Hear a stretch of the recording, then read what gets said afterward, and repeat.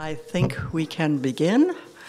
Um, I am here to give a word of welcome. I am Jane McAuliffe, and this is my last day as the director of the John W. Kluge Center, a research center at the Library of Congress, but also a center that has the privilege of every few years overseeing the selection of the Kluge Prize laureates. Um, I'm not leaving the Library of Congress. Uh, tomorrow I take on the task of a new division of the library called National and International Outreach, which will include the Kluge Center as well as many of the externally facing units of the Library of Congress.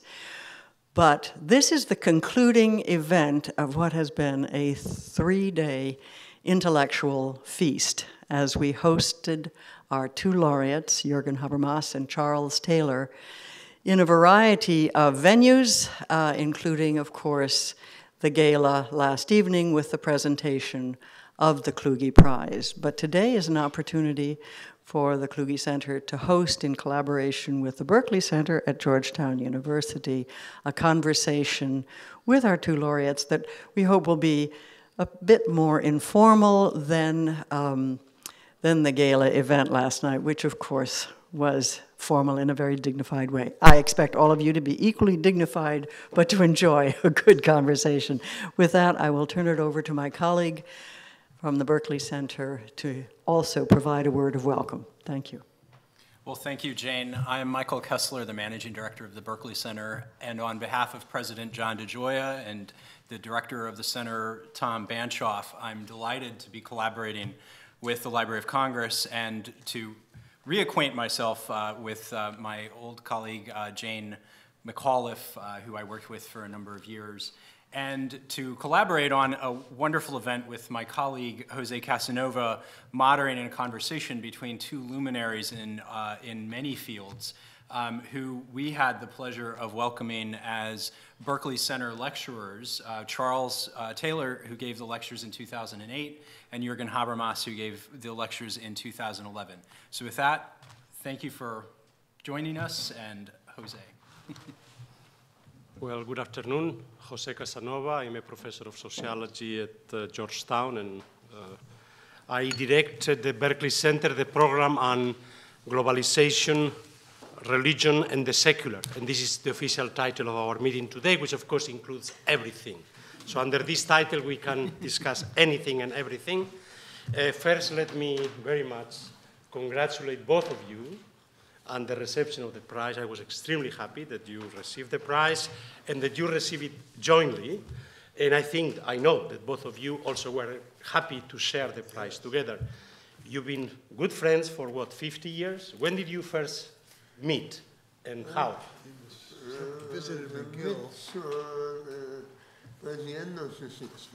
Yeah, that's right. Visited, uh, Jürgen visited McGill, I think it's the first time. Yeah, yeah. Okay. And then I invited him to Oxford at a later point. Okay, and you became friends. Yeah. It was philosophical friendship, more political friendship, personal, all three? All three. Everything. all three. The elective affinities. I mean, for me as a sociologist, you have been great philosopher of the social sciences. I became a sociologist reading Jürgen Habermas' The Logic of the Social Sciences, which of course is a critique of naturalism. Positivism, uh, Taylor had written before Explanation of Behavior, which is also a critique of naturalism. At least you share this. As philosopher of the social science, you have been very critical. The positivist naturalist direction of the social sciences following the natural sciences. Uh, you share many interests in the philosophy of language, in moral philosophy, political philosophy, but you have also disagreements. We'll go into these disagreements later. But before let's, since we are talking about the secular, the religious, obviously your work, uh, the secular age, had a great impact. Simultaneously, almost at the same time, you, Jürgen, came up with the idea of the post-secular societies. And yet both of you mean very similar things. The notion of religious secular pluralism is something which is simply inherent to our societies. So why do you use secular? Why do you use post-secular? I want to understand how is the use of secular and post-secular for very similar things used. Mm -hmm. So please. Shall I start? Yeah. Yes. yes. Well, We're recording, so. All right, yes. Well, I mean, it's not that I think it's a particularly good word, all words are trapped, or, but I think post-secular has sometimes been badly misunderstood, as though there were a period of a secular society and then we somehow got beyond that, or maybe went back, or anyway, had a totally different direction. However, I think the truth behind the term, the application of the term which really captures something, is that the earlier part of what we understood as secularization going on after the Second World War was understood within the framework of the old secularization thesis, which was simply that the more modern we become, the more secular in the sense of decline in the level of faith and the level of practice, right? There's a kind of causal relation, and modernity, I mean, to be very sloganized, modernity produces secularization. And then I think the last 30 years have seen that certainty in all of social sciences disappear, chip away. So when we begin to look at our age uh, without that particular framework, right, it's not something that that's irreversibly relegated religion to the margins, but rather kind of shift in the position of religion and spirituality in our world, right? then we're post that particular set of, uh, glasses, right? and in that sense, I think the word post secular really capture something. And that's not trivial. I mean, it, it's uh, the fact that we look at it in a quite different way and that we've, we've dropped a certain way of looking at it really makes a very big difference to our understanding of our age and therefore the way we live in our age. And therefore, you know, a lot of things follow from that. But it's really, that's what the post has got to be connected to. It's a post particular take on the developments of the modern world. So what do you mean by post-secular? Yeah, I'm basically in agreement with what uh, Chuck uh, just uh, told us.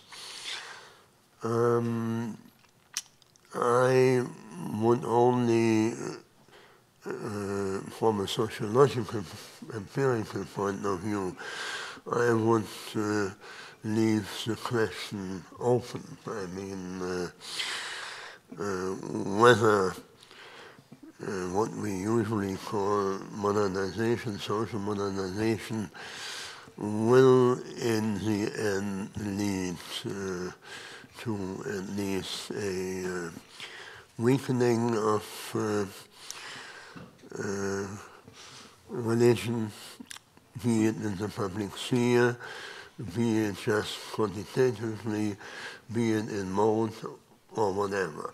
I mean, I, I backed off from the former uh, uh, thesis which I once uh, shared, yeah, which I once shared.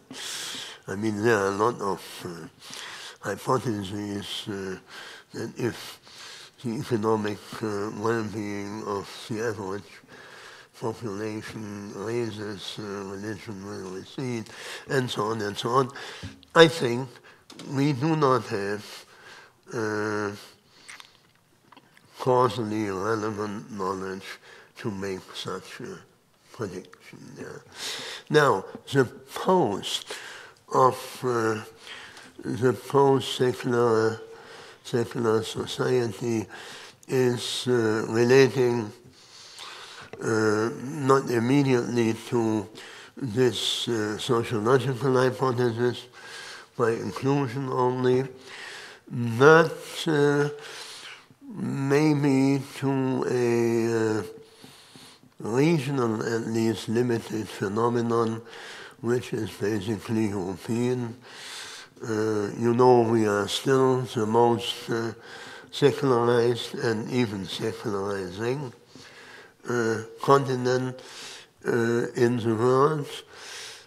And uh, there was, uh, I suppose, also empirically a uh, widespread uh, consciousness, both in the population but also in secular philosophy that we envisage, uh, so to say, and uh, uh, maybe uh, not uh, in time definite, but in the end, the end of religion. Now, this consciousness did change in the broader population, not so surprisingly, uh, at least uh, during the last decade, since the 80s, I would say. This is an empirical phenomenon. But what interests me more is a philosophical uh, argument that is linked to this post, this term, post-secular. And uh, there I wouldn't dare to say that there is a shift already in uh, the self-understanding of uh, Western philosophers uh, in our departments or among our professions. But uh, I would, uh, and I think I'm sharing here, uh, I would arguing for a uh, shift in self-understanding uh, within, uh, yeah, philosophy. Uh, and I will first leave it with uh, the following remark. Um, I do think that it would be healthier for any kind of what I like to call post-metaphysical thought, uh, to understand ourselves, our kind of philosophizing as an heir to uh, both uh, religious and uh, specifically Greek scientific traditions. I, I was talking uh, about that yesterday. Uh, what I mean is that there should be a shift in dialogical attitude towards religious traditions, the semantical potential of which is not yet exhausted, probably, in terms of waiting, maybe, uh, for any further attempt of uh, translating religious motivations and motives of thought into uh, a kind of uh, philosophical language which is no longer bound to particular particular teachings of uh, this or that uh, religion. Yeah. Uh, but it was striking that uh, the different topics you chose uh, as uh, your speeches of reception of the prize. Um, you Habermas gave a talk precisely on the importance of Christianity in the transformation of Western philosophy. You gave one on democracy and the crisis of democracy, some self destructive tendencies within democracy. In your case, your topic, I understand this is a preoccupation of yours. We have been had this conversation for many, many years. But I'm a little, can you explain why you chose the topic you chose yesterday? Oh, it's contingent on the invitation by Mr. Billington, who uh, uh, suggested to talk about uh, one's current work. And I'm working since many years on, uh, but this is just an, old age occupation. I mean, with uh, with uh, retrieving uh, readings that I missed so far. Yeah, uh, that means I am following up the discourse on uh, faith and knowledge from uh, uh, the Roman Empire onwards, uh, learning a lot about uh, what the Catholic Church was all about. I mean, I have been brought up as a Protestant and I never had a real notion of what the church is, I must say, at least that church, uh, which is, uh, uh, for pure sociological reasons, it's very interesting to, to follow up I mean, I give you one example which at least uh, surprised me. Uh, I mean, uh, everybody has some notion of the fall of the Roman Empire, uh, but it seems to be a historical fact that it was only the Catholic Church which was, of course, organized after the pattern of the Roman administration. Yeah?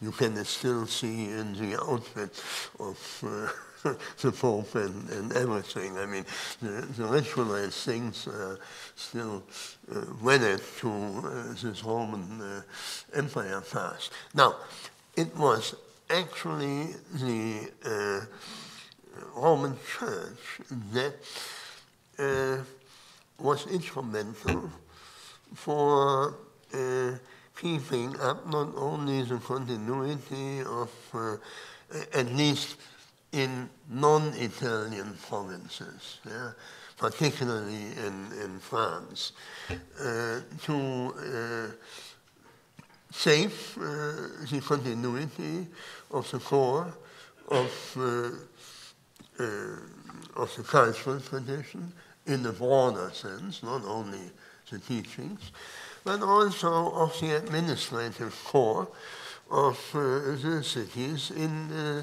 Gallien, for instance, and uh, then to create something which is now of uh, interest for us today, and create the populus Romanus. I mean, the populus, Rom uh, the populus Christianus, excuse me, populus Romanus had been somehow uh, hold, uh, held together by the Roman administration, but the populus Christianus was uh, literally created by the church now extending to the northern provinces and the eastern provinces and so on and so on.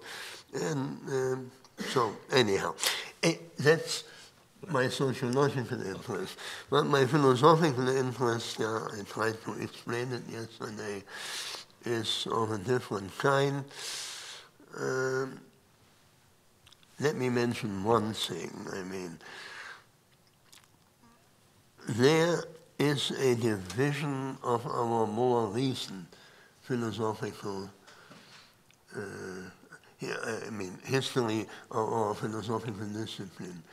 There is a kind of empiricist strand from Hume onwards, which is circulating around uh, German idealism, taking in its broad sense from Kant to Marx and Feuerbach and everybody. Um, circling around it, while there's another strand which went through German idealism, and German idealism was uh, differing, Kant was different, differing from Hume, to put it bluntly, in its attitude toward religion. On the one hand, you take religion just as an object, another object of uh, uh, uh, study and explanation, while Kant and the rest was taking a uh, dialogical attitude towards the tradition. Um, of course, Kant and Hegel were thinking we will tell them what is rational in religion. Of course, I mean, uh, I think we better don't join them in this attitude.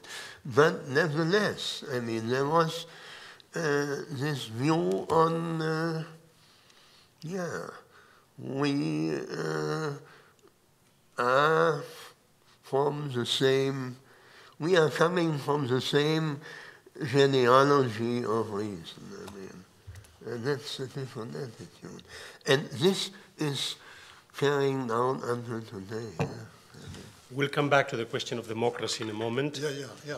But you can bring probably add your thing, adding, you've mentioned the Catholic Church, religion in the public sphere. We witnessed the Pope visit last week, the speech to Congress, the speech to the United Nations. Was this religious particular discourse that needs to be translated into universalist secular language? Or was this already in itself secular language when the Pope speaks? I mean, will it be a different, what was this religious discourse?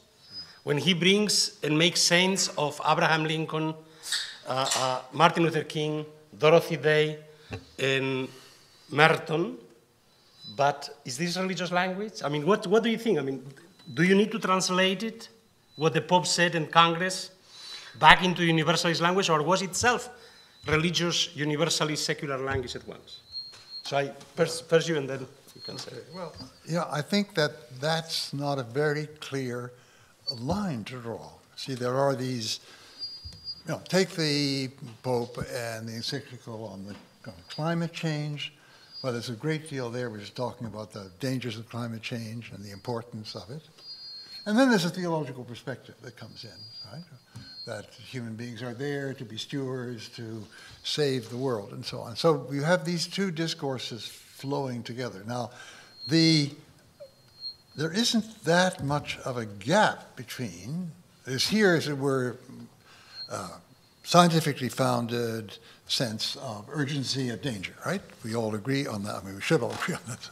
Not far from here, there are people that don't seem to think that's true, but, but uh, almost all of us agree on that. Then we have a, if you like, ethical perspective from the point of view of which this is something urgent. And these, you can have ethical perspectives which are completely uh, devoid of any, um, you know, particularly Christian content.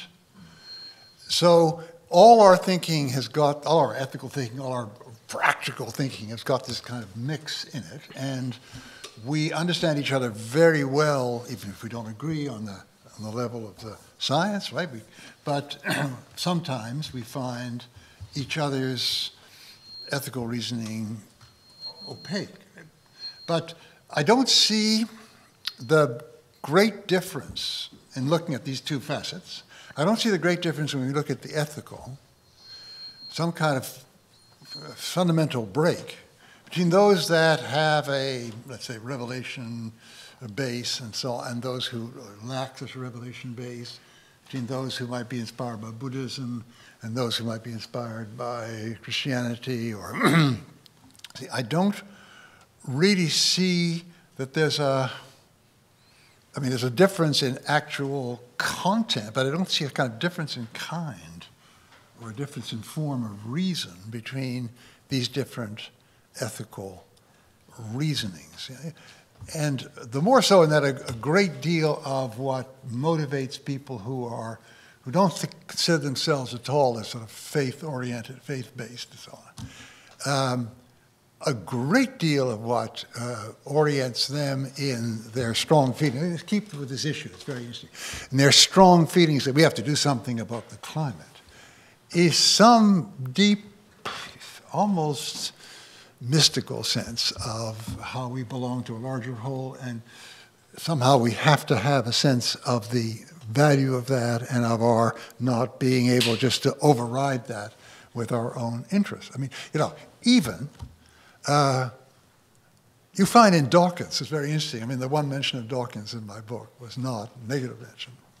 It was Dawkins' sense of the, I would like to say, the mystery of the cosmos, of the awe-inspiring sense of the, of the cosmos and the, what that draws on one on into understanding it better and so on. This is, and this is this kind of uh, sense. It's a kind of ethical sense here is absolutely crucial for almost all the people I know who are into climate, uh, dealing with climate change without necessarily a, a, a transcendental or whatever revelational basis. So I don't find a total difference of type. I find a difference of actual concrete content, sure. I mean, but I don't find a difference of type here in this, and particularly, not, one is not a particular kind of reason, and the other, and the other something else. This has been the base of some difference between Yeah. you. You've been debating this for a long time. Uh, so I restate the question of the Pope's language. Do you see it as religious language? Do you see it as universal, universalist language? I think that your question is very interesting, uh, but I should have read, uh, yeah, I, I should have read the text in order to, okay. to answer it, and I, I, I have no quick answer. Uh, but I do not quite follow uh, Chuck. Uh, uh, I understand uh, what he is saying about this reverential attitude to nature as an encompassing cosmos and, and uh, yeah, William James, everybody, uh, American transcendentalism. Many, many people will join uh, you in that. But it is not necessary. I mean, there is a quite secular and even instrumental or functional view on uh, ecological problems. And uh, maybe for the relevance, it makes a difference.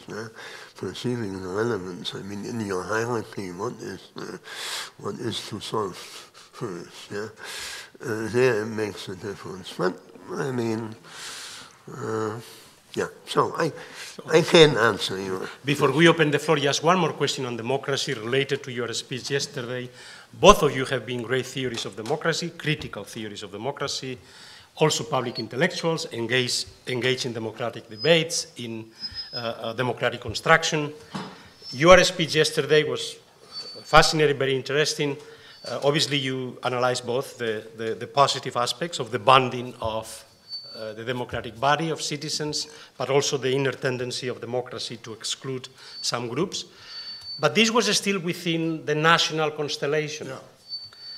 Habermas began talking of the post national constellation, and the situation in Europe, the crisis in European democracy, is the tension between a national constellation. The question is not only integration of already people here to be integrated as citizens, but the very uh, moral need, perhaps, to simply welcome them as refugees, not yet as citizens. So, and as you know, I mean, now you have a tendency of some countries within Europe to go back to a nationalist against the European Union. You have been one of the greatest theorists uh, uh, in support of European Union construction of citizenship. So, what do you see the crisis in Europe right now? Merkel, who in other terms was always behind public opinion polls and always behind, in this particular case, went ahead of public opinion and went ahead of the politicians in his own party. How do you see the crisis of, he, she mentions that the crisis of integration is even greater than the reunification of Germany. We'll be celebrating in, in three days the 25th anniversary. Uh, what is your view on these matters and your view of democracy in the European Union today, and in terms of adding to what you said yes, yesterday? Yeah, I mean, I mean, there's also a remark on uh, whether democracy produces its own uh, problems of this type. Maybe we can come back to that later on. Now, um, I mean, in the end, we agree, but, but there are slightly different uh, conceptualizations which might be of, uh, which might make a difference. Now, turning to uh, present day Europe, uh, yeah, uh, yeah, your, your description is obviously right, but uh, the interesting uh, thing which uh, we observed by the uh, end of last month was at first a totally unexpected um, government position uh, in Germany, namely uh, we open our borders. That was uh, a stunning reversal of everything I would have expected, uh, at least from Angela Merkel. And uh, the interesting thing is the overwhelmingly positive response. Uh, it's demoscopically uh, proof that uh, a, yeah, even a greater majority was at first behind it, and until uh, two weeks ago, I, this is the last demoscopic finding I, I know of. But even at that time, we had a positive response. That means there is an interaction. We talked about that this morning. There is an interaction between government and civil society. And uh, if we have uh, a uh, government which, for good, also pragmatic reasons, take a normative stand and is appealing uh, to uh, normative sensitivities in uh, the own civil society, then you might expect also counter tendencies to what we usually uh, would expect and what we do uh, rightly expect now only uh, also in Germany. I mean, we, we have reaction uh, in the last four weeks to uh, uh, our government's uh, position. But what is different is now uh, that the official government policy is stated and is defended also by our very vocal uh, president, Gauck, who is coming here the next days, and uh, uh, who is, uh, so to say, what, what I want to say is there is not just a fixed national identity. I mean, this is not what uh, what Chuck is maintaining either. But uh, we know that we have undergone what Charles uh, uh described as uh, uh, a push for more inclusionary self interpretations of what it means to be German, French, Spanish, or even European citizens. It's, uh, it's a redefinition of uh, citizenship, and uh, Jacques stresses uh, rightly um, the uh, um, tenacity, what is it? The, uh, uh, yeah, the, the difficulty, the, the, the, yeah.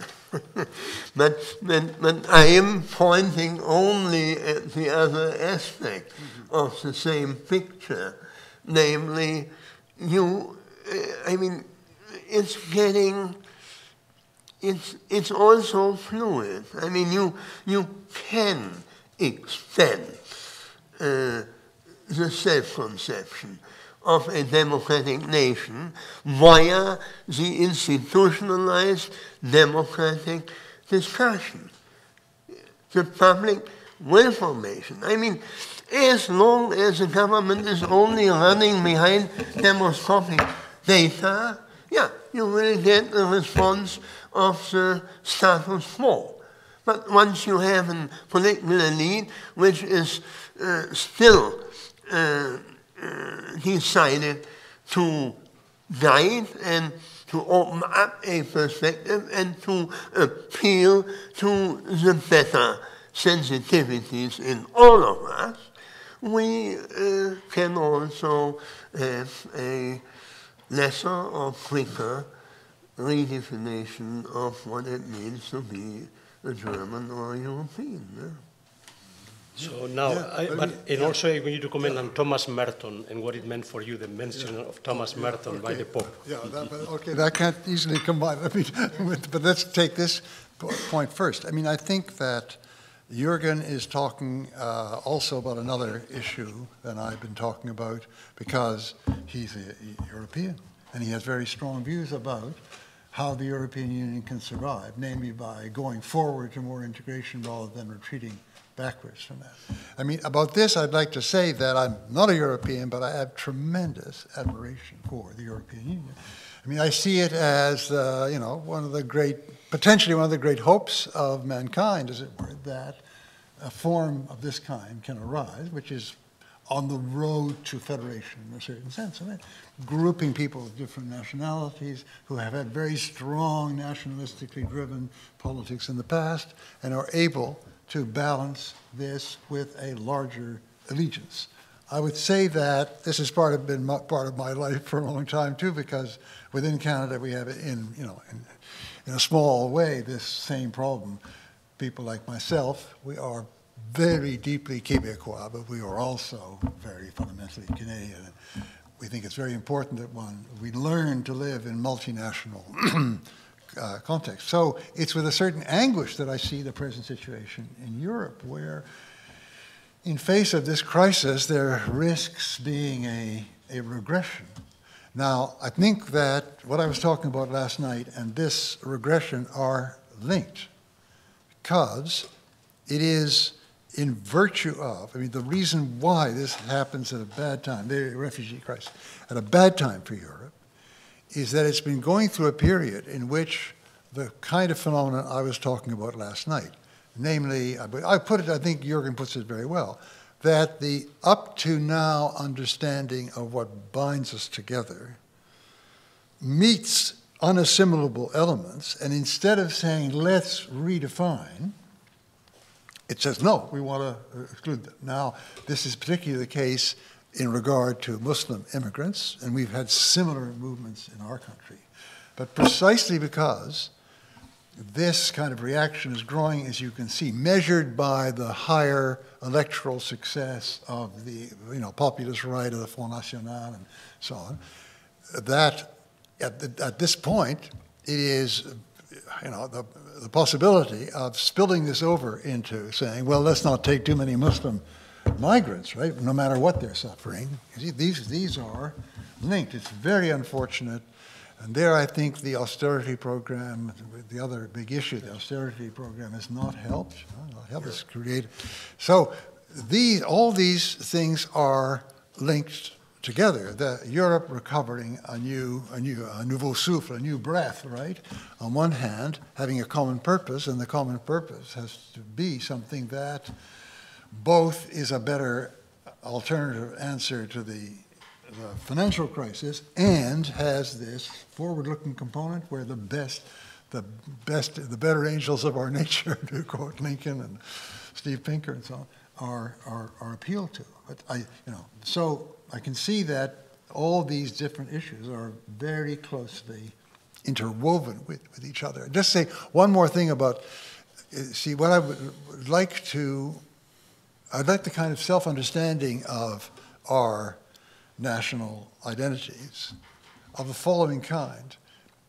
To a great extent, they are portrayed by many of patriotic people in a very backward referring way. Uh, I mean, for instance, when you look at the way in which uh, laïcité is uh, invoked in France in order to pass discriminatory legislation, it's always, well, they, we have the founding moment. I mean, either the 1789 or the Loi sur la séparation de l'Église et l'État of 1905, right? So that's us. That's it. The idea that this kind of modern democratic nation is uh, always a work in progress, that it will not be the same in the next generation than it is now. Even if we don't try to do that, our children are going to change us. So it's ridiculous to think that we can think of it as something that's going to be forever fixed in certain reference points. It's always going to be remaking itself, remaking itself in order to be truer to its very fundamental ethic. And that means remaking its identity. This kind of self understanding now is beginning to exist in, uh, in beginning to exist in Canada. That's what the meaning of Canadian multiculturalism in Quebec we call anti-acculturation, but it's a different word. It's the same thing. This is what that means. It's, it's not ever going to be fixed in a form where we have the clear reference points in the past. It's moving through time. And is it going to move through time with the real integrity in relation to its fundamental ethic, or is it going to move through time in a way which is where it's going to betray that ethic? I think that's getting that across, or getting that flip in the way you envision this problem is a large part of the fight because you will always find that the people who are proposing the more discriminatory policies are always pointing back to these crucial markers back there of what we were, and we must never depart from them. So we have to have another idea of what patriotism means. Okay, I'm all over the place, but I think that there is a, this is the connection between what, you know, we have both been talking about. I'll let you talk later about the Pope and Yeah, yeah, yeah. Dorothy and Thomas Merton. Let's open up the, the floor. Anybody would like to enter into the conversation? Any? Please, identify yourself, please, and, and make sure you turn the, Yeah, the press light. your- Press your. I press. Yes. Thank you. Um, I'm Mary Dudziak. I'm the uh, Kluge Chair in American Law and Politics um, at the Kluge Center. This year, I'm a legal historian at Emory University, and I um, so honored to have an opportunity to talk with you. And I only jump in with a question because um, Professor Taylor, I was sort of thinking about your sort of the teleology or the sort of almost inevitability of a sort of a proliferation of democracy, which is so hopeful that was part of your talk last night and is sort of coming through today. And for both of you, this sort of sense of a sort of a, an essential quality of democracy or national identity or the way polities work is sort of essential, sort of dialogic kind of a quality. And I wonder whether perhaps we're working with a sort of nostalgic view of politics and um, polities, um, and that in going forward, uh, we would need to problematize thinking about how time might march, for example, um, by thinking about changes in state capacities. Um, and here I think within the United States about developments like law being made in secret within the executive branch, for example, about certain aspects of the use of force, like targeted killing. Um, judicial opinions written and enforced in secret. Um, and also the expanded power of the state with regard to surveillance, um, the extended, uh, the, the changed nature of the public sphere uh, in the sort of realm of the internet, which is so subject to manipulation by any, by various. So, so is there any reason to sort of see the kind of qualities inherent in how democracies or polities constitute themselves, and and how and what's the essential element of the the democracy or the sort of nature of a dialogue and a dialogic sort of development um, that we would need to hang on to um, in uh, moving forward in a in an era where there are just going to be government capacities um, that are not part of the 19th or 20th century world. So, you want yeah. Yes. Yeah, I mean, I think there's a, a very broad field there with a lot of very important issues. I'd like to pick up one or two. I think that uh, there is the growth in the power of government, but there also is a sclerosis, I believe, in our, in our present democracies, where the possibility of overturning things by movement, if you like, from the bottom, self-organized movement, are less and less in evidence. And partly less and less uh, room for that. And partly this is a result of a spiral, we have to take into account of this, a spiral of confidence in the democratic process. Right? I mean, the more, for instance, money talks and can control results regardless of what people's opinions are or majority interest is, the more a lot of people feel there's no point voting. The more they feel there's no point voting, the more the power of lobbies and so on increases. So there is a potential spiral downward here, which only occasionally can be perhaps broken by movements of the kind we've seen among young people and so on. I mean, very often movements that don't succeed in changing it because they remain locked within the, uh, the sense of the hopelessness of, of the system. So they, they, uh, they become more concerned with the, I mean, I, I mean Occupy New York. I mean, they, they become very concerned with intra-movement democracy, and they have these interesting experiments and everyone talking to everyone else in the Tahrir Square and so on. But they, if you ask them, well, are you going to go out and vote? Oh, it's a waste of time, right? So you get, or the, you know, the five-star movement in Italy is another example of this, I'm afraid, with a very utopian notion of how this is all going to lead to a change in Italian society. This is one of these very deep breakdowns in democracy, which is not simply a breakdown that you can identify in terms of how institutions are working, but you have to factor in this sense of either hope or lack of hope. Right? And we've assisted at a, a secular, I'm not, this is the, in the economist sense, you know, séculaire, not séculier in French, kind of secular decline in voting numbers in all Western democracies. Some of them are lower than others, but they're all on the same, basically speak, on the same slope. We have to reverse this if our democracy is going to is going to survive. And uh, you know, various proposals I would like to make about that. But but that's the they have to be different from different from society to to society. Would you like to add something? Let me add only one remark. I mean, we have uh, one of uh, the best sociological findings uh, in uh, comparing uh, our Western democracies is a very strong correlation between social inequality and participation. That means the uh, amount of non-voters. And um, that uh, shows that in uh, at least the last 10 years increasingly, we get a vicious circle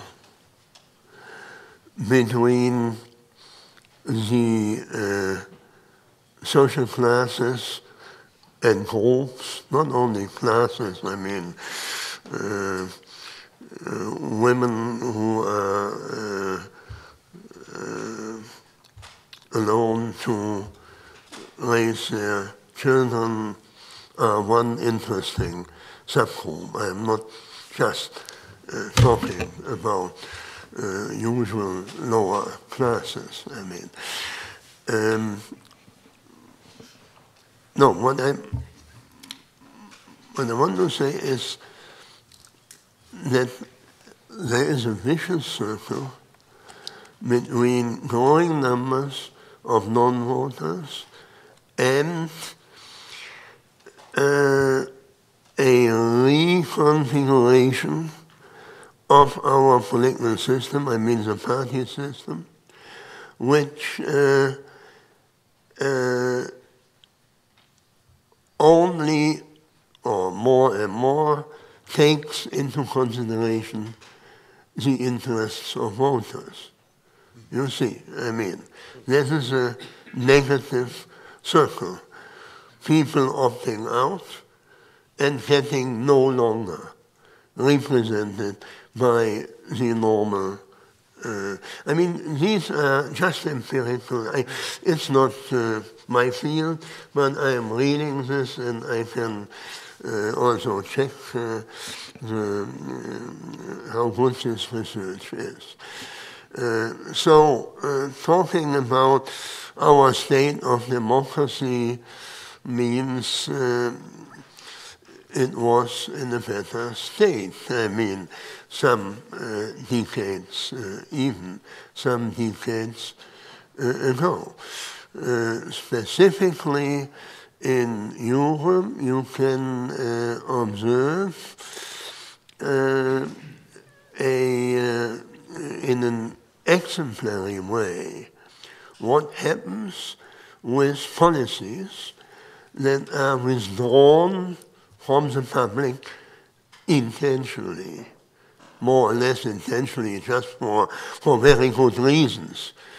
Uh, namely, the European, uh, uh, the, the, decisions on, on European policies taken in Brussels are more or less, I mean, shielded from the national public. They are just no longer discussed until if some crisis comes and there is no way out to uh, thematize them. But then they are unfortunately uh, interpreted from uh, national perspectives uh, and these are not the same perspective from which they are actually decided in Brussels. So, I mean, there are many kinds uh, in many regions uh, of uh, a decline in, uh, yeah, what we at least normatively would postulate to be a functioning constitutional state. Yeah. Please. Yeah, please turn the micro on. Yeah, my name is Brendan O'Connor, and I'm um, I teach at the University of Sydney, and this year I'm at the Woodrow Wilson Centre. It's a privilege to ask uh, both of your question, having uh, spent a lot of time as a student and then as an academic poring over your work. So it's, it's nice to be invited here. If I could just ask uh, Professor Taylor maybe to comment a little bit more about this notion of democracies having their own kind of seeds of kind of some undermining, some destructive elements in them. This obviously being a theme of democratic writing from sort of Tocqueville or even further back onwards. And maybe um, if you indulge me, Professor Habermas, I mean, one of the things that strikes me as fascinating is how much people who study pedagogy, education, have really taken to your work, particularly sort of communicative ethics and the whole sort of notion out of communication the evolution of society, it strikes me as had a profound impact on the field of education and education studies and teaching. And I just, maybe you just comment on this as this, you know, this is a societal theory you've had, but I suppose people have this fairly specific application of it quite frequently, I think, at universities and the teaching of education, as though this is a very effective way of going about pedagogy, thinking about your theories as a kind of practice of how students might learn, university students. So I'd, I'd be very interested in your opinion on that. So who would like to start? I didn't get, get the question. I mean, so, so this th this issue was brought up of democracies having, in some ways, their kind of own sort of some seeds of destruction in them, yeah, or the, yeah. the, idea of democracy in general yeah. from sort of Tocqueville Were onwards. you at the lecture yesterday? No, yeah. unfortunately not. yeah, yeah, yeah. But, yeah. But I think this is what we've been talking about really just very briefly, yeah. that you know, democratic societies need a strong sense of bonding and what they're bonding around, the ethic and the particular historical tradition. And unless you have a readiness to revise this constantly, mm -hmm. you'll come across a situation where the population changes, for instance, as a result of migration, and the sense of what the bonding is and the people for whom it's supposed to exist will begin to draw apart. And that can easily take the form of targeting these newcomers as not really, I mean, they don't really fit here, right? They don't really belong here. They're not part of our society. So that's what I was saying earlier that I think we agree, Jürgen and I really agree on this, that we have to have an attitude towards what defines our political identity that it must constantly be reviewed in the light of who's there, in the light of what the population is, and so on. Yeah. And without that, with this very backward-looking stance towards it, you run inevitably into exclusion. I mean, that's the paradox. democracy, the most modern, the most inclusive form of government in theory seen in human history, can find itself generating exclusion from out of its own self-conception, right? That's the paradox. We have to avoid that, yeah. Yes, I, I don't have anything uh, special to uh, uh, say to your uh, very important uh, issues. There has been in Germany uh, in the 80s and 90s large literature on education, critical theory, communicative action, and so on. I, I didn't follow this very closely, it's not my field. Uh, I do uh, think that uh, the problems we face in our educational system, at least insofar as I know it from Germany, uh, secondary and tertiary educational system is more uh, the general adaptation of curricula uh, to uh, somewhat short-sighted uh, uh, goals of uh, what does it mean for Wertung, professional uh, evaluation. Von, uh, von Wertung von uh, Fertigkeiten. Uh, I mean, it's we we we. I mean, it, it it comes from from many corners. I mean, one corner are the parents who are now uh, feeling, uh, uh, I'm talking about Germany, and there are also empirical studies on that. I, I at least roughly know. Um, uh, there's a growing feeling of parents uh, to uh, make, uh, to have a, an education for their children. uh, which uh, gives them uh, market value so that they can sell finally their competencies. And the same pressure we obviously feel in a slightly but well identifiable restructuring not only of the uh, curricula in our uh, various academic fields, but also in restructuring the composition of uh, the university itself. I mean, uh, there are countries like, uh, I hate to name another country, but uh, I happen to know it, I mean, there are countries like uh, uh, the Netherlands where we uh, see a restructuring of the humanities which uh, uh, must in the end hurt any idea of university. That means uh, to provide the means to reproduce fields for themselves non regarding any uh, valorization in pragmatic uh, or in economic or whatever terms. Uh, so I actually I cannot really answer your question. I mean, uh, please.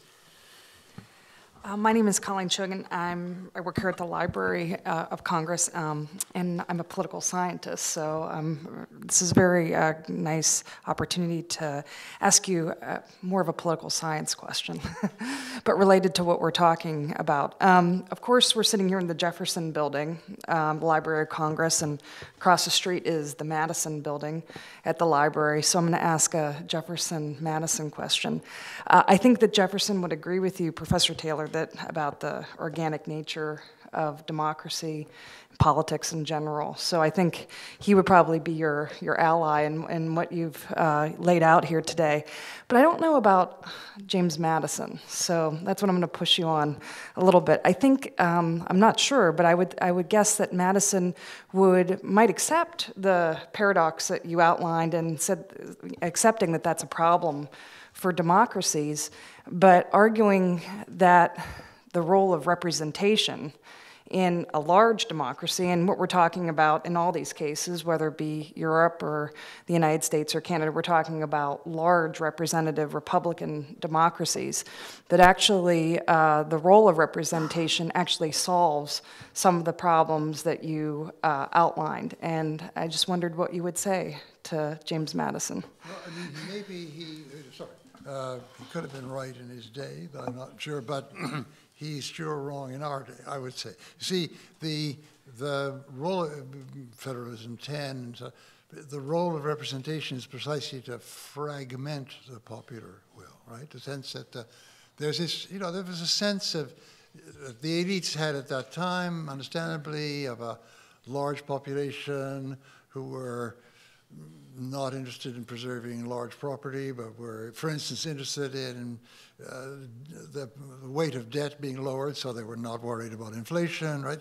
And fear of spoliation of the of the rich, kind of people getting together. So the factions were actually large-scale factions that could uh, that he feared that could uh, have this deleterious effect. And the answer was this kind of fragmentation of it in the, in the federal system and in the different houses of, of, of Congress.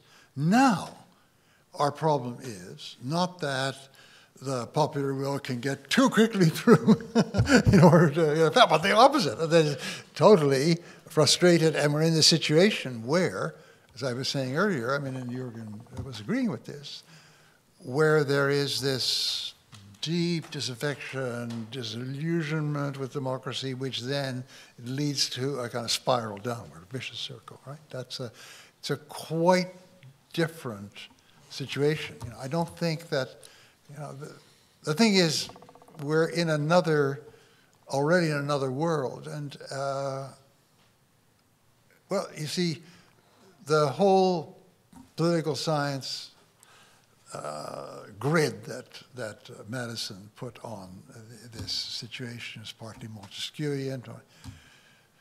Already with Tocqueville, you have a quite different kind of political science, where he sees this kind of political form as another kind of animal. And this kind of animal works in a certain way and will break down for certain reasons because it does work in a certain way. And I, it's that kind of political science that I think we have to pursue, not blindly following Tocqueville. But when I talk about the importance of the, the sense of bonding for modern democracy, it's an attempt to examine this particular animal. This is not, this is not helpful to uh, understand the politics of ancient Rome. It's not helpful to understand the politics of, you know, of uh, Russia today. It's not, there's all sorts of places where it isn't helpful. But it is helpful to understand the, what we consider to be the core of really successful and, and praiseworthy democracies because of the ethic, right? And it's something very different from what, well, it's different from what they lived then, and it's different from their conception of what they lived then, which already, you know.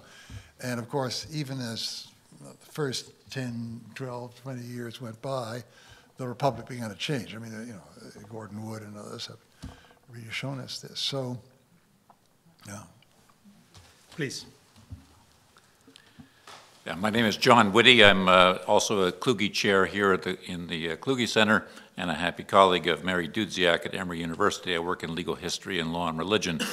I wanted to ask uh, Professor Taylor about your conception of multiculturalism. Mm -hmm. And I wondered how thick it was and whether uh, certain forms of it might lead to some of the concerns about factionalism, about secrecy, uh, and in some sense erode uh, the project of unification at the national level, let alone uh, Professor Habermas's concern about the international level.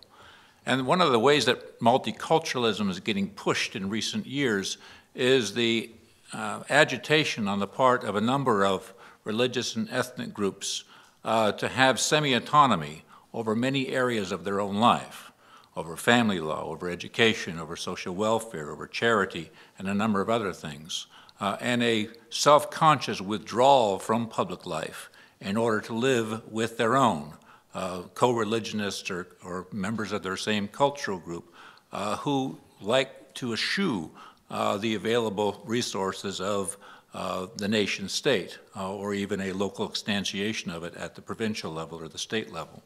And that tendency, I think, has become increasingly pronounced uh, in recent emigre communities uh, who are concerned about uh, either the liberalism of the modern democratic state or about the capacity of the modern democratic state uh, to deliver on all the goods that was promised in the Good Society projects or the New Deal, uh, and preparing themselves to deal with many questions that the social welfare state, a generation or two from now, can no longer discharge. And I wonder what your theory of multiculturalism says to that concern and what it, how it might respond to some of the concerns about factionalism, secrecy, and eroding national unity that result from the same. Yes, I mean, this is very interesting to me as a Canadian.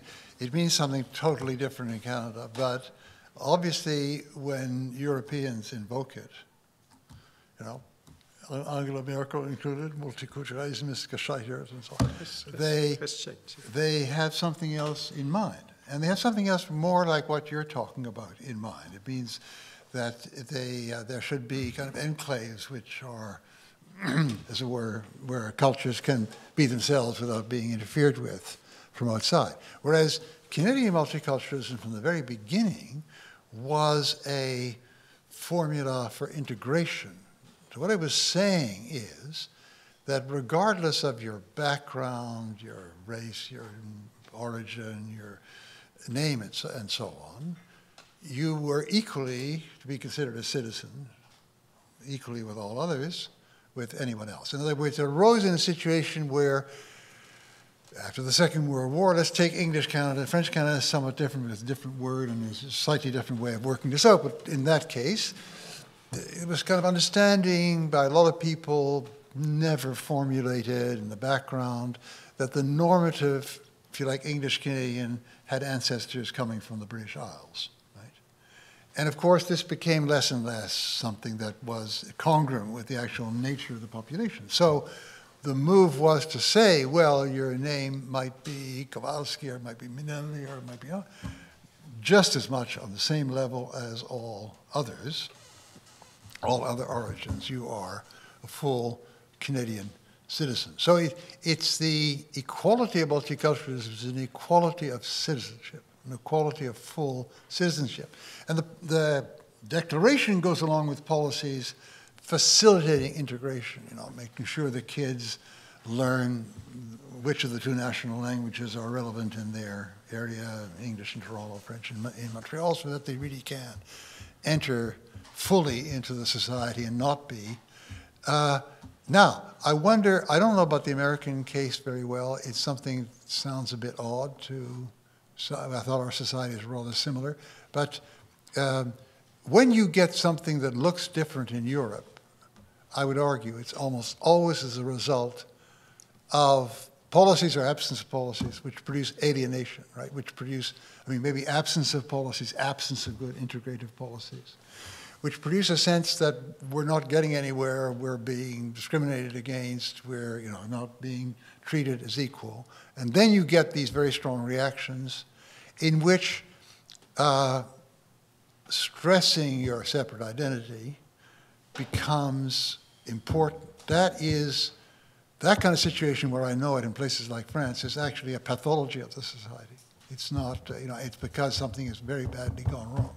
I mean, why do you have this whole sort of, you know, verlan language, that language which is very much particular to people in the banlieue and which is a, you know, is a kind of, you know, as you know, uh, turned around French with a lot of Arab words thrown in, right? And this is what we are, and you know, the hell with you, because, but this, this comes out, what it's coming out of is a sense of we're being blocked, we're being discriminated against, we can't get jobs, and so on. And then on top of that, they pass sort of stigmatizing legislation about Muslims and so on. And so we go and burn all the cars in the banlieue, which is not necessarily, you know, in 2005, but uh, not necessarily a very positive act. But it's, it, this kind of desire to be outside is the result of being blocked rather than um, the sort of autonomous, uh, the goal with which these people come to Europe, these people come to Canada, is, as I think I said earlier, I mean, I said it too many times, you ask them why, one of the big reasons is, I wanted to give my children a chance that they wouldn't have had in Algeria and Morocco, I mean, our case. And if that works, there are no people more fervent patriots of well, whatever, Canada, the States, and so on. Would you like to add something?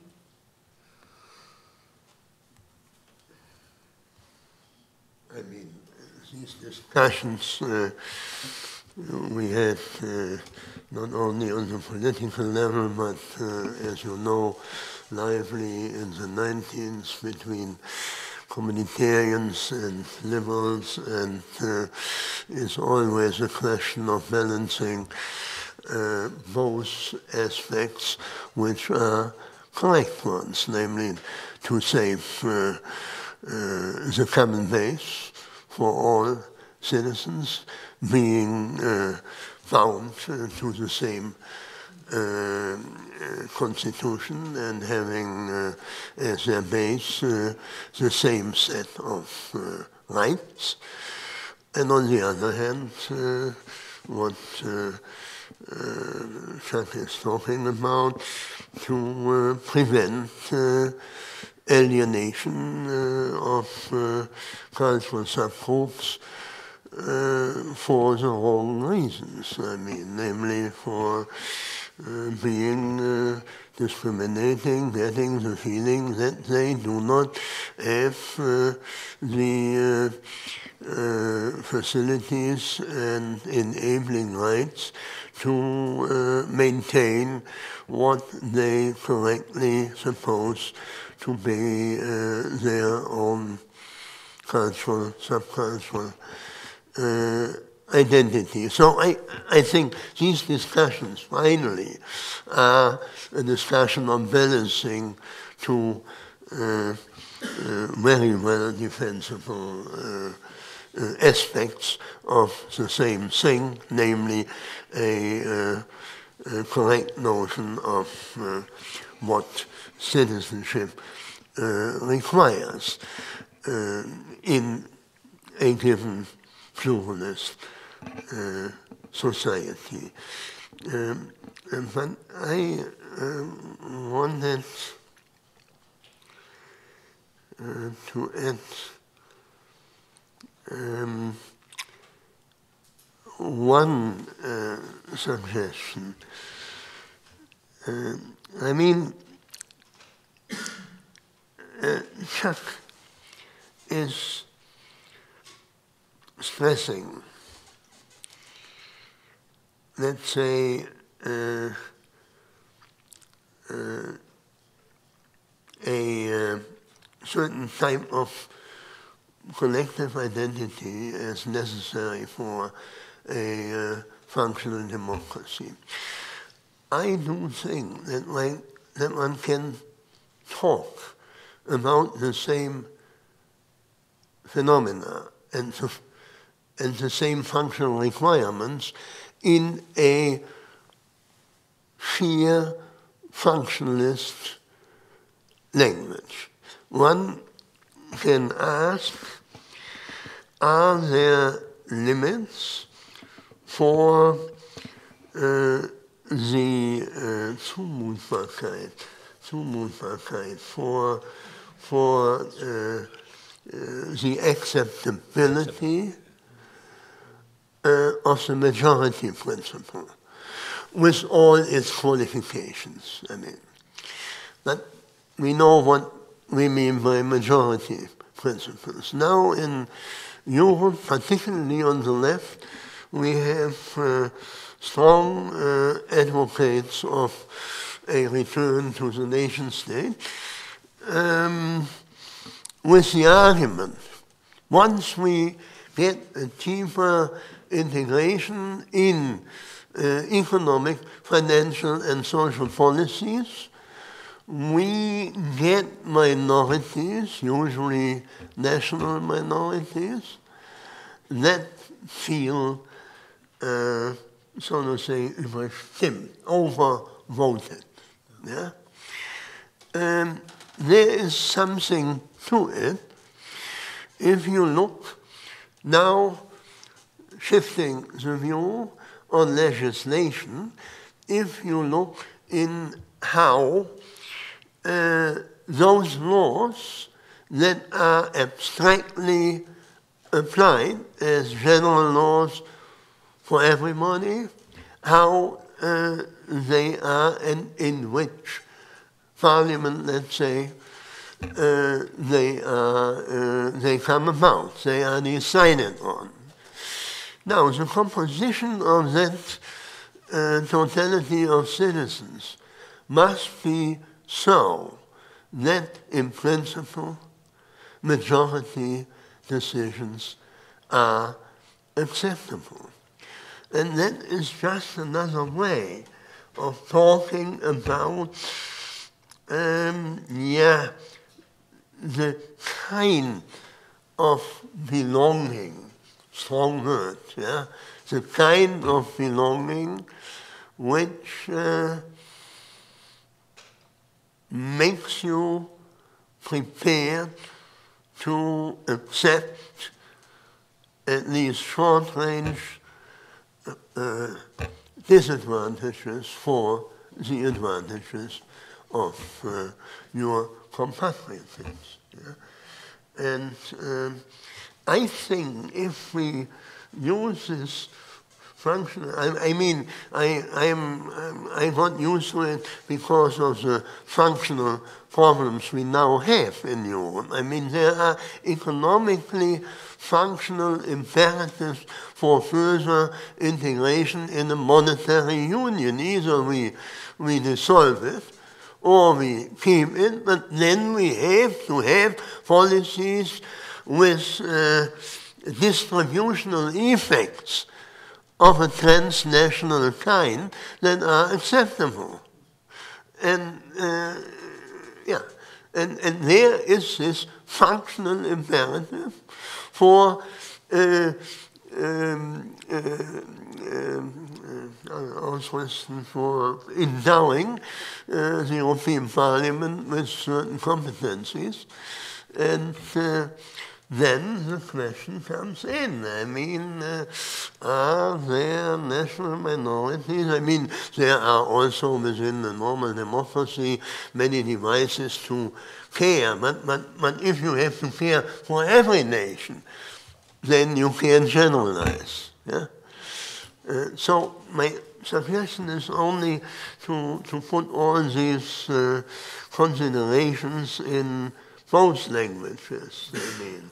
The action theoretic language of belonging and the systemic language of functional requirements, and then lots of uh, mutual hostilities are off the table. Yeah?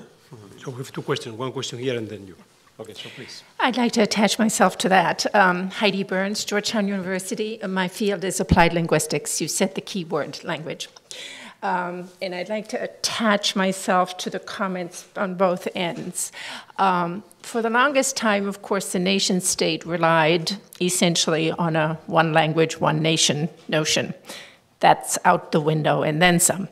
Um, similarly, it relied rather heavily on a certain unity of religious uh, beliefs. That's also out the window.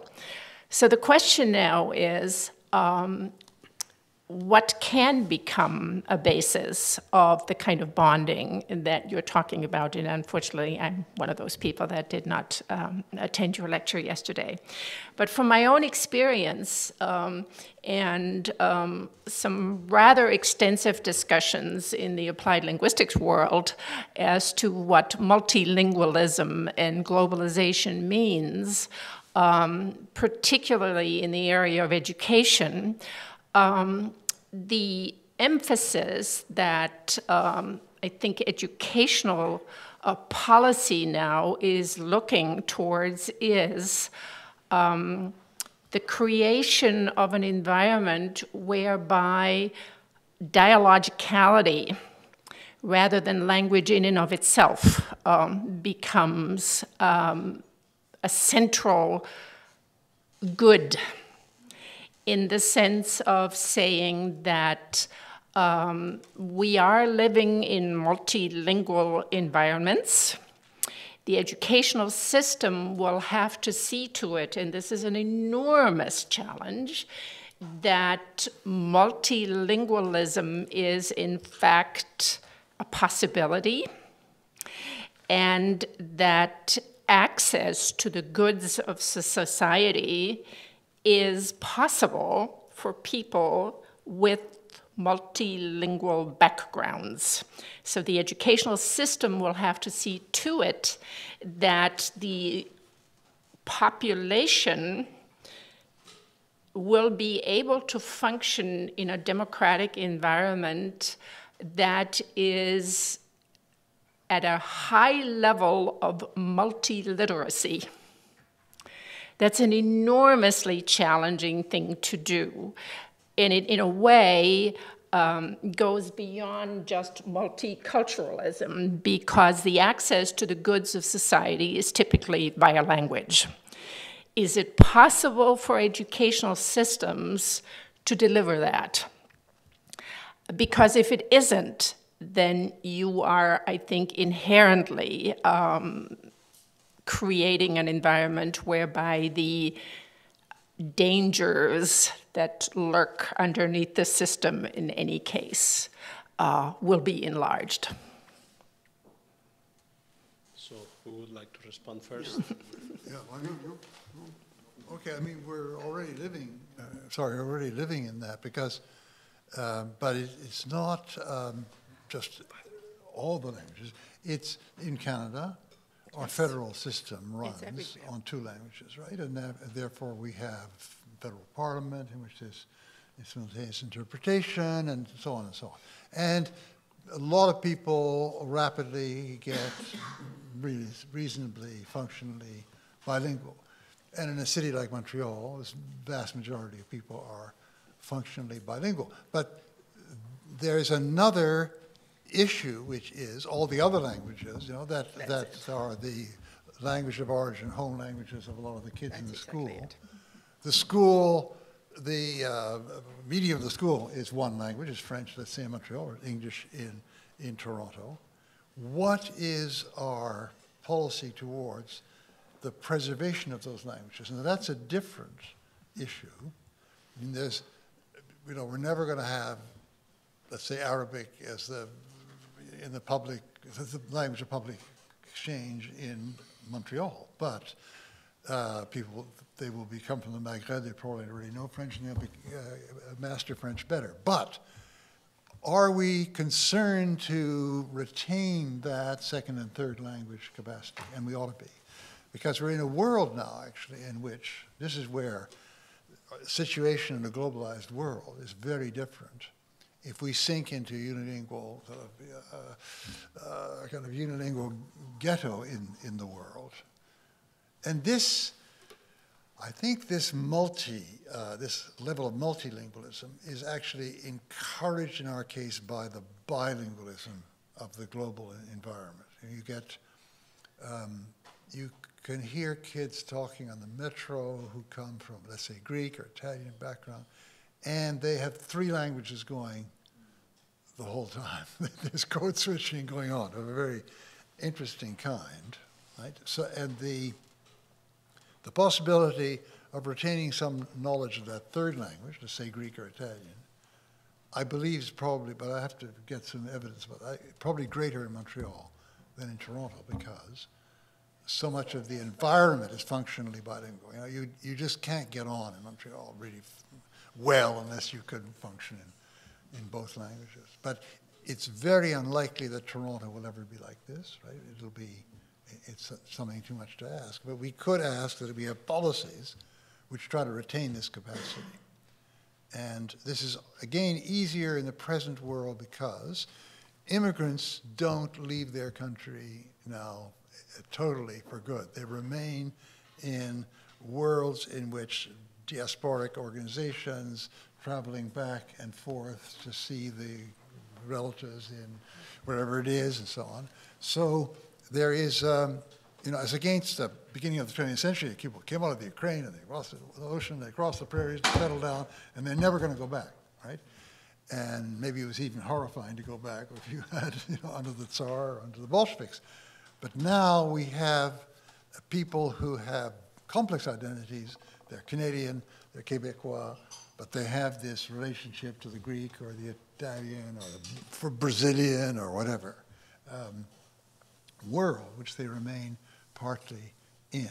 I think that's a very important uh, point about modern identities and something that should be taken as a richness of the society rather than taken as a danger for the society.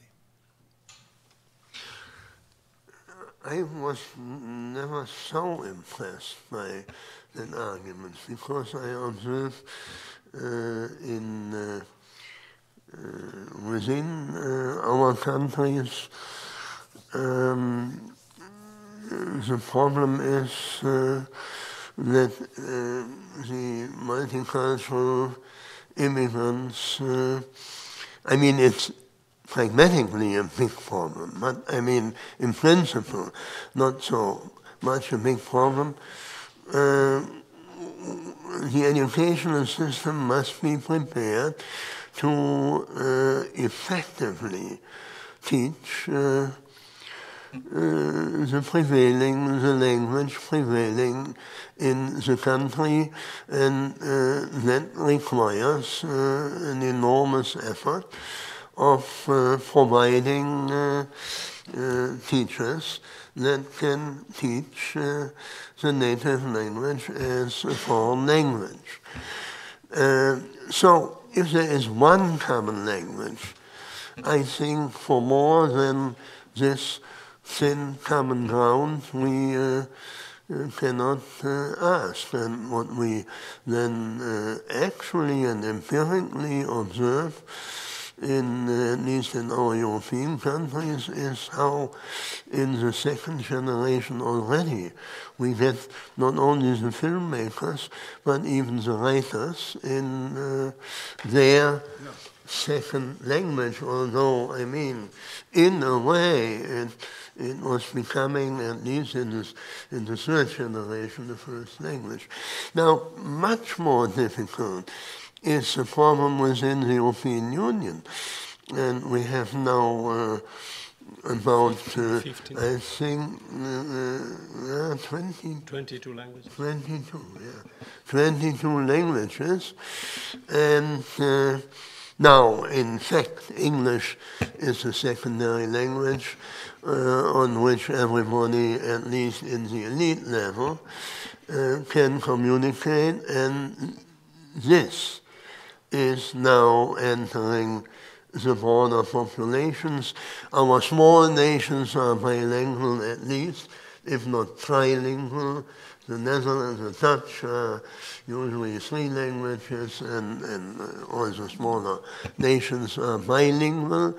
But even the bigger nations like the Germans, who uh, uh, are behind in uh, introducing now at least English in the elementary level, um, it is an institutional problem namely to get the press uh, working on a more complex level.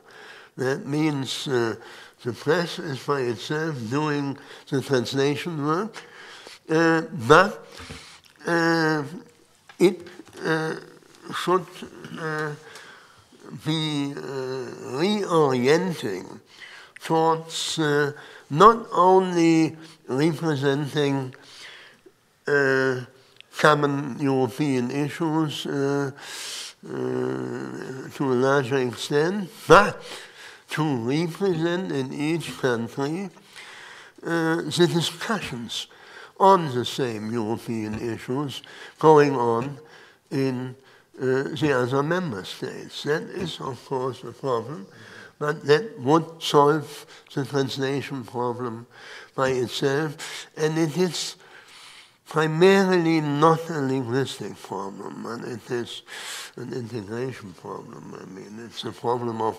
observing relevances and so on and so on. Yeah. Unfortunately, we have run out of time, so we cannot ask or allow for more questions. It only remains to thank both of you, the laureates. You have been busy for three days, you've been kept captive by the Library of Congress, and it's time to release. Well, Norman Birnbaum, you are the only one who can ask a question. Yes, please.